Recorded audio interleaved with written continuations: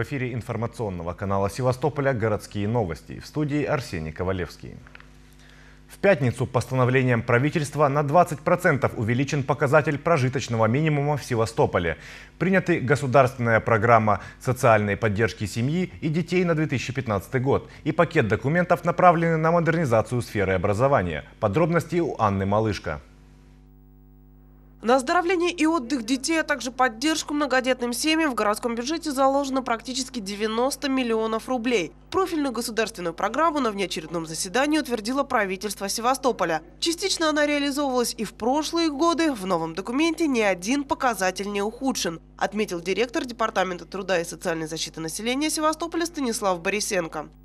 В том числе субсидия из федерального бюджета Российской Федерации бюджета города Севастополя – на предоставление жилых помещений детям-сиротам и лицам из их числа по договорам найма специализированных жилых помещений в размере 7 миллионов 331,5 тысяч рублей и средства бюджета города Севастополя в размере 82 миллиона 663,8 тысяч рублей.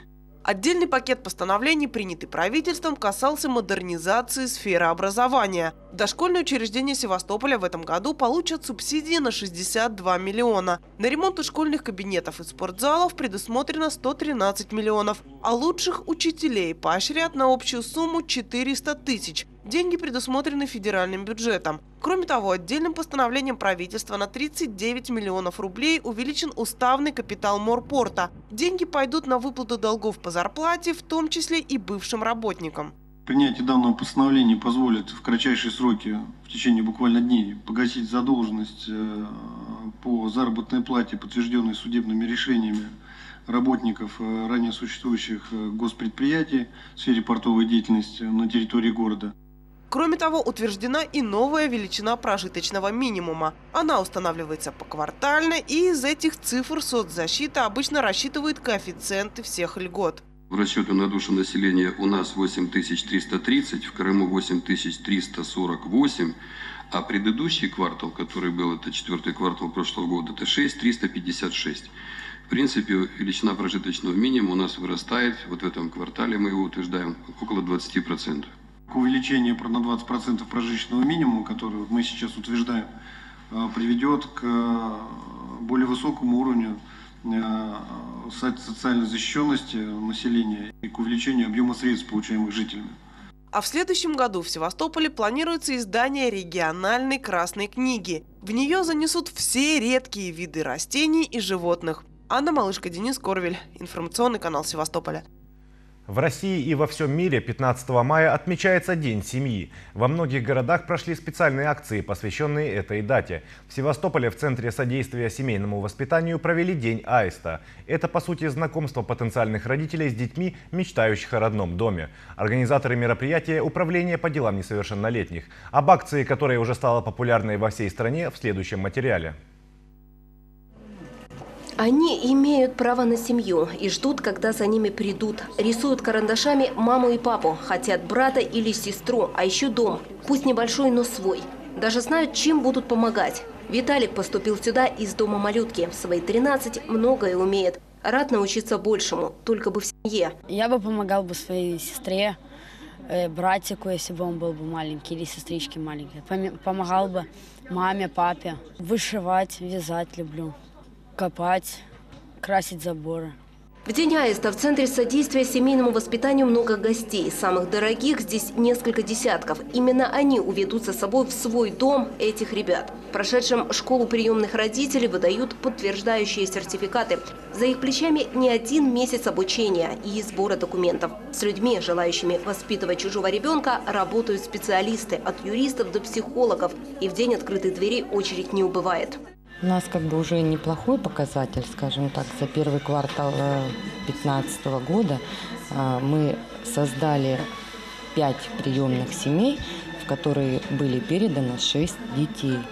А в Центре содействия семейному воспитанию, наконец, 2014 года воспитывалось 53 ребенка, то сегодня их уже 42. Среди почетных гостей та, которую знают здесь уже много лет. Про нее говорят, Любовь Каракуц не просто любит детей, готова всех их сделать родными. Сама же про себя говорит, чужих детей не бывает. Мать-героиня увела за руку из севастопольского детдома в свой 11 детей. Вместе с кровными их у нее уже 15. Самому старшему 35, младшему 10.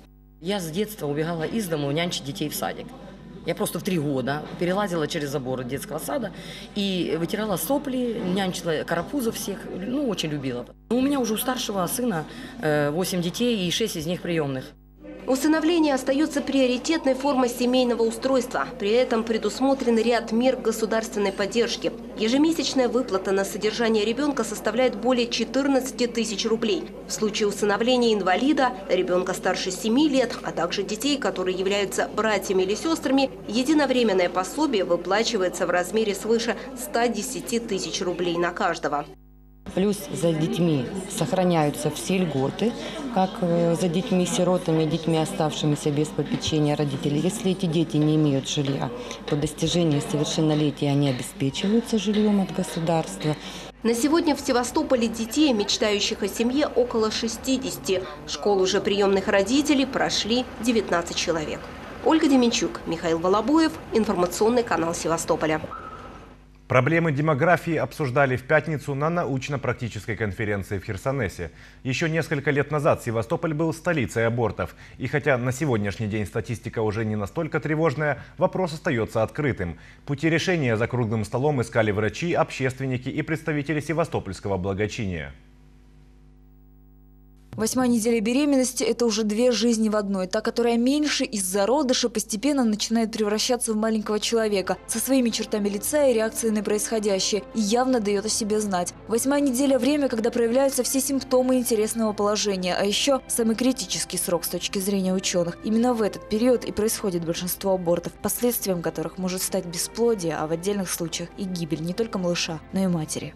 Медицинские последствия аборта делятся на три главные причины. Это э, прежде всего инфекционные заболевания после перенесенного аборта, это механическое повреждение самой матки половых органов. Ну и как третий момент это гормональные изменения. Все это в будущем может привести к бесплодию, собственно, отсутствию детей.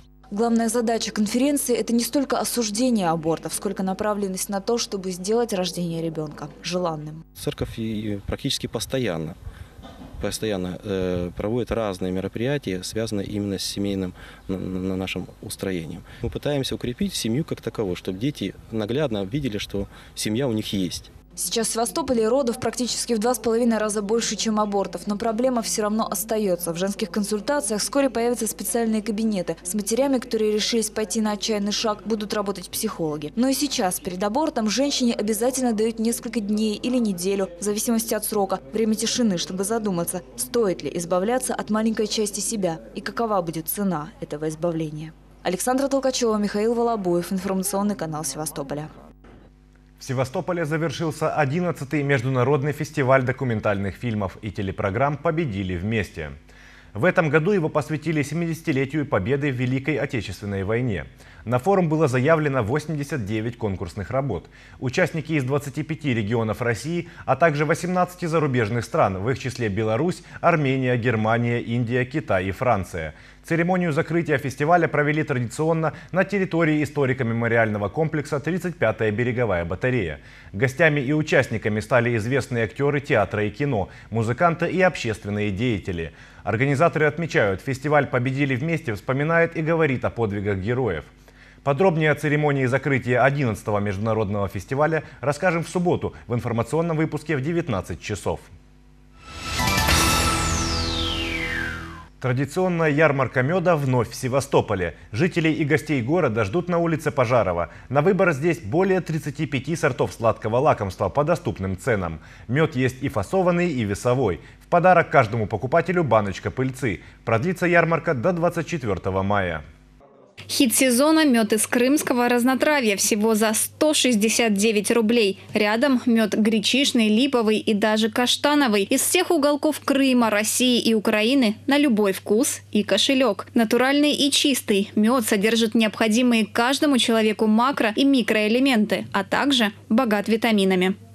Э, Продавцы-консультанты правильно подскажут, какой мед конкретно нужен человеку, для того, чтобы укрепить его иммунитет. После зимнего и весеннего времени подойти к лету, что спокойно можно было приходить на пляжный сезон. Я кацевый всегда беру. То есть он мне больше подходит, больше нравится. Постоянно, как ярмарка идет, мы сюда приходим.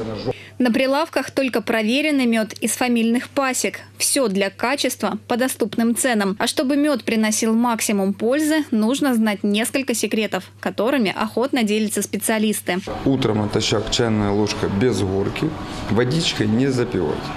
Можно один к одному с пыльцой. И минут 10-15 нужно подождать перед едой это все. И вечером, перед сном, когда мы уже ложимся под одеяло. Так же самое чайная ложка. Это два главных употребления меда в сутки. Специалист также уверяет, мед полезно есть и в течение дня. Он гораздо полезнее сахара. Даже небольшая ложка сладкого янтаря может сделать вкуснее привычные блюда. Есть и вовсе неожиданные рецепты. Мы уже добавляем в кофе, добавляем салаты, делаем борщи, даже добавляем для вкусовых отношений. Как и всегда, без подарка с ярмарки меда никто не уйдет. Каждому покупателю баночка пыльцы в виде сладкого и полезного бонуса. На ярмарке также представлена продукция пчеловодства, перга, прополис, маточное молочко и многое другое. Пчелиная продукция – это наше здоровье, сила, бодрость, энергия, жизненный тонус. Так что приходите, пожалуйста, получите консультацию, все подскажем, расскажем и будьте здоровы. Все эти продукты сейчас, в преддверии лета, особо полезны, уверяет апитерапевт. Кроме того, продуктами пчеловодства можно вылечить большинство болезней, добавляет она. Если проблемы с сосудиками, пчелиный бальзам у нас замечательная вещь. Укрепляет сосуды, циркуляция крови, давление стабилизирует. Галерин есть, простудные заболевания лечим, бронхи, бронхиты, бронхиальная астма. Мед – это продукт, который не портится. Многие специалисты утверждают, при правильном хранении в течение года он становится лишь полезнее и с древности считается более ценным, чем свежесобранный. Покупатели, кажется, знают об этом. Это мед уже 2014 года, то есть, ну, говорят, он еще лет пять может, так сказать, его можно кушать. И все я беру как акции, и соседки, бабушки, я очень доволен продукцией. Тем не менее, любителям свежесобранного меда ждать уже недолго. Новый урожай будет в июне-июле. К этому времени на ярмарке можно будет купить молодой мед и, как всегда, по лучшим ценам. Весенняя же ярмарка продуктов пчеловодства торговой марки «Казацкий мед» продлится до 24 мая. Посетить ее можно по адресу улица Пожарова, 21 с 9 до 17 часов, без перерывов и выходных. Ирина Львова, Деливер Меджитов. Информационный канал Севастополя. И на этом у меня все. До встречи в эфире.